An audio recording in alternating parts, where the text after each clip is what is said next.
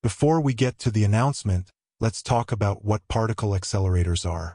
CERN's Large Hadron Collider, LHC, is like a 17-mile loop made of super-strong magnets, and it's the biggest, most powerful particle accelerator we have. It's a huge deal for science. It can even recreate the conditions from the very start of the universe. But could this thing, made to figure out the secrets of the cosmos, also be dangerous?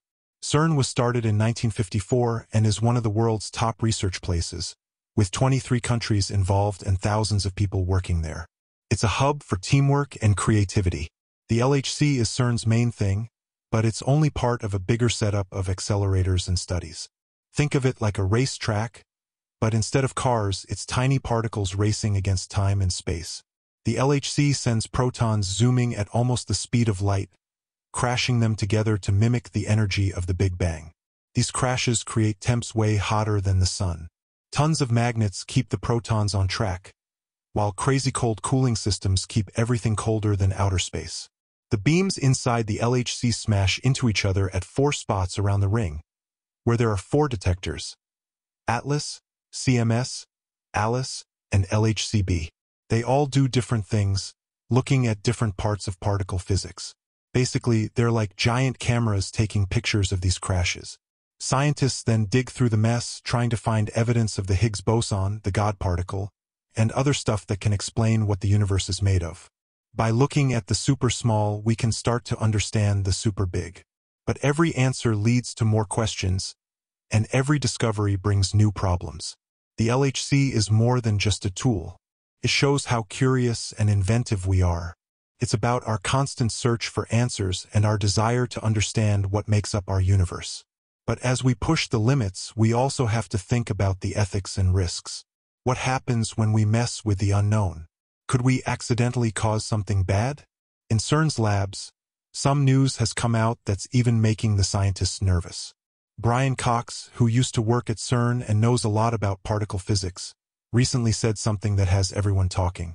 Cox basically said that the LHC's job is to make a mini Big Bang, a small version of the thing that created our universe. He went on to say that the LHC could make huge breakthroughs like figuring out the Higgs boson and learning about dark matter, which makes up a big part of the universe. Imagine having the power to create, to bring something into existence. It's cool, but also scary. The mini Big Bang isn't just a theory.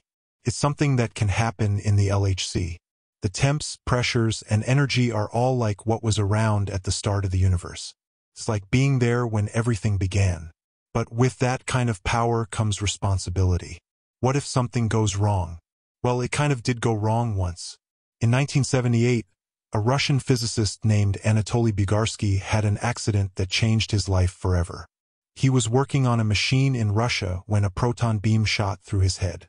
Bugorsky said he saw a flash brighter than anything, but didn't feel any pain. The beam burned through his tissues and bone, but he stayed conscious and walked to get help.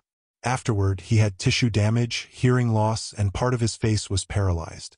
But he was still able to think and went on with his science career. This isn't just one guy's story. It's a warning about how powerful and dangerous particle accelerators can be. The risks with the LHC are real, unpredictable reactions and messing with space and time. These aren't just made-up fears. Scientists are actually worried about them. One of the scariest things is the chance of making a tiny black hole. Black holes are spots in space where gravity is so strong that nothing can escape, not even light. They suck up stars and are pretty mysterious. The thought that the LHC could make one, even for a split second, freaks out both regular people and experts. Could it grow out of control and swallow Earth? CERN says that any black holes would be unstable and disappear right away. But even the possibility has started debates, worries, and amazement at what we can do. To understand how the LHC could make a black hole, you need to know how accelerators work. When protons crash together close to the speed of light, the energy can warp spacetime. Imagine a trampoline with a heavy weight on it. The surface bends so much that things nearby get pulled in. That's kind of like what could happen in the LHC under extreme conditions. In quantum physics, there's a theory that there might be hidden dimensions. If so, the LHC crashes could reach these dimensions, creating a gravitational link that forms a tiny black hole. This whole thing has even caught the attention of famous scientists like Stephen Hawking.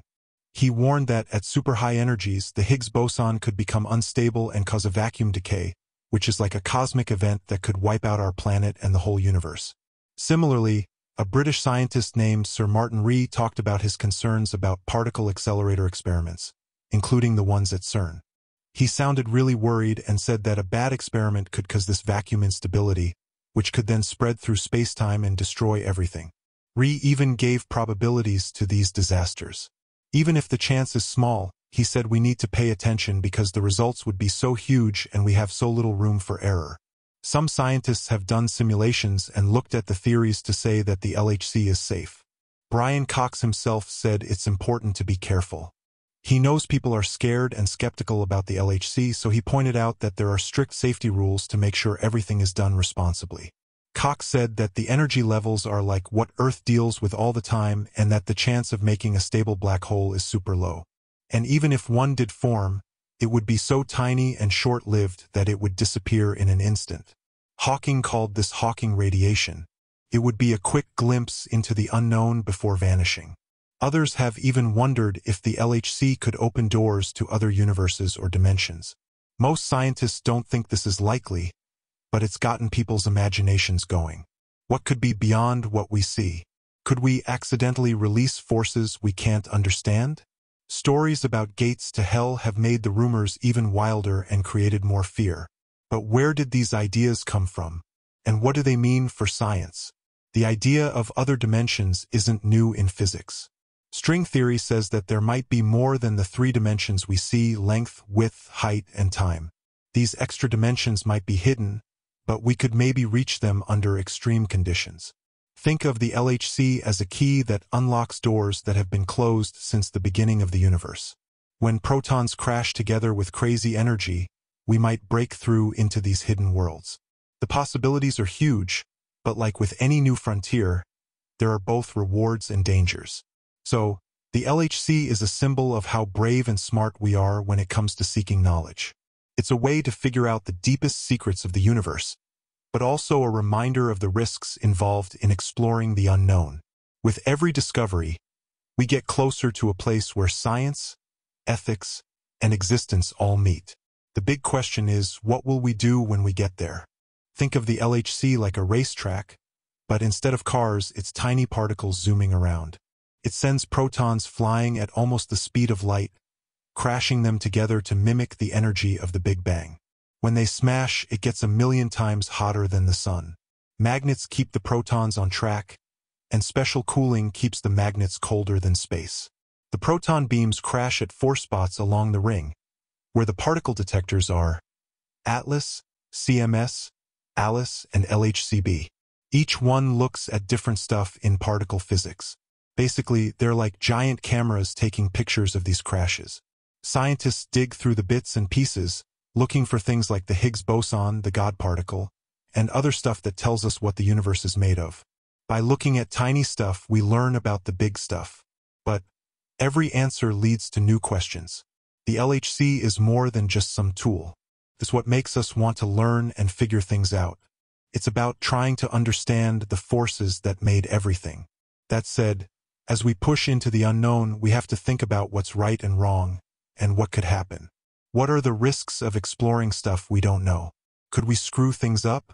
At CERN, where people are always pushing the limits of what we know, something has come up that's got even the scientists worried. Brian Cox, who used to work at CERN and is a big name in particle physics, said something recently that's got everyone talking, and a bit scared. He said that the LHC's job is to make a mini Big Bang, a small version of what created the universe.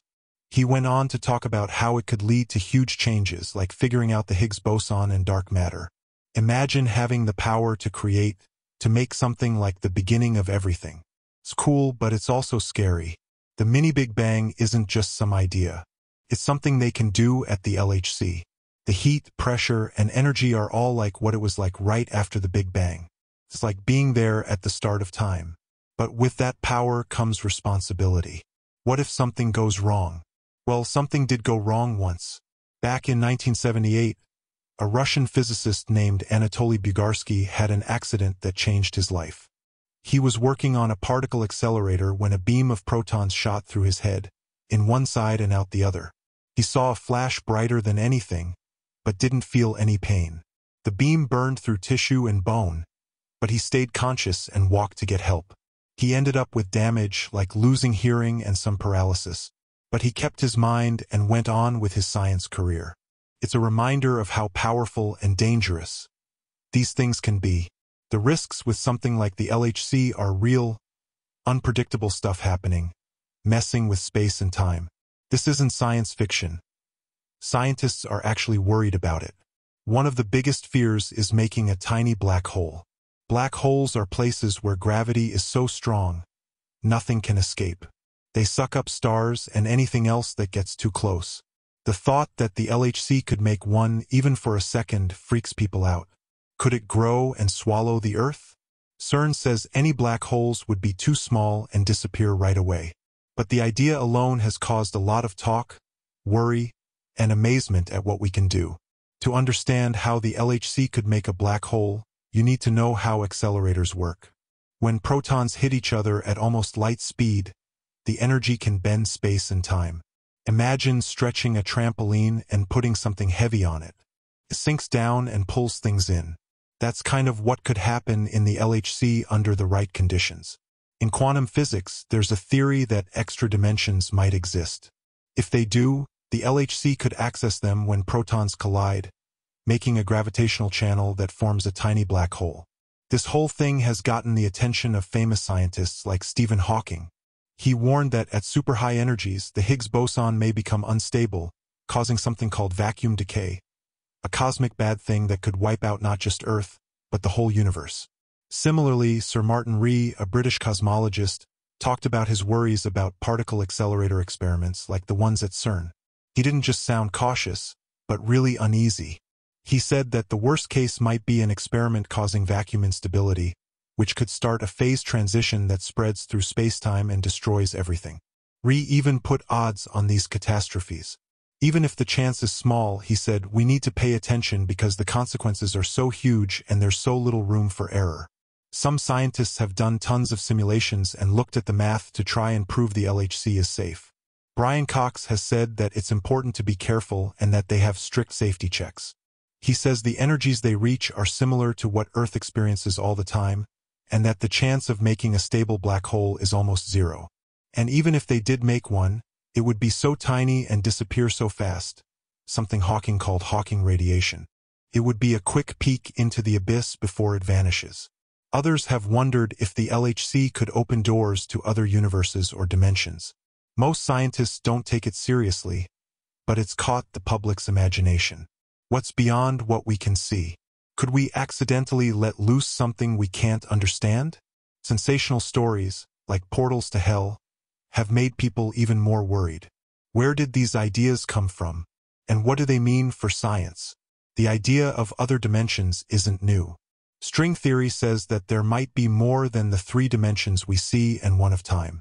These other dimensions might be hidden, but we could get to them under the right conditions. Think of the LHC as a key to unlocking doors that have been closed since the start of the universe. When protons collide with enough energy, we might break through to these hidden places. The potential is huge, but like with anything new in science, there are real dangers. So, the LHC is a symbol of how far we'll go to learn about the universe. It's a tool for figuring out the biggest mysteries, but also a reminder of the risks of exploring the unknown.